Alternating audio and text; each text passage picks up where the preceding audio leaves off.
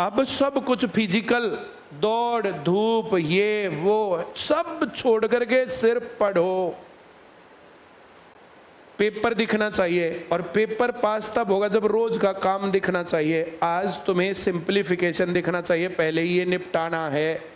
एक चैप्टर फिर रीजनिंग का निपटाना है, एक पोर्शन फिर जीके का निपटाना है, ऐसे अपने सामने हर रोज का टारगेट बना के और वो दिखना चाहिए। क्लास में आकर के ध्यान से पढ़ना, सुनना। जो लोग इस टाइम पर क्लास छोड़ करके यूट्यूब पर लाइब्रेरी पे या ऐप पर पहुँच गए, या बहुत ज़्यादा ज्ञानी लोग हैं बोला अपने आप पढ़ा कोचिंग में जो होना था वो लिया।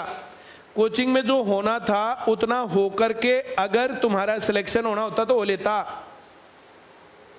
बहुत सारी ऐसी बात है जो हमने तुम्हें बताई और तुमने नहीं सुनी। तुम्हारे ऊपर असर नहीं पड़ा उन बातों का। तुम रह गए। ऐसे गैप मत मारना। अब जो गैप मारेगा वो फिर रह जाएगा। पिछले एक्सपीरियंस देख लो।